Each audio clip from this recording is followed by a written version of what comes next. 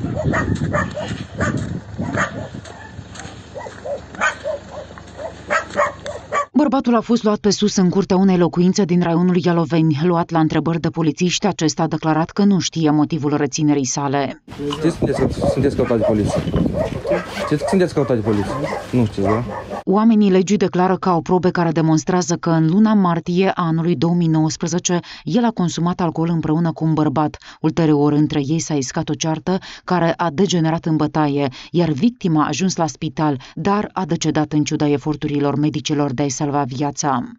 De acest caz a fost inițiată o cauză penală în baza articolului 151 Cod de penal vătămarea intenționată gravă a integrității corporale sau a sănătății care a dus la decesul victimei, iar conform legislației în vigoare se pedepsește cu închisoare pe un termen de la 10 la 12 ani.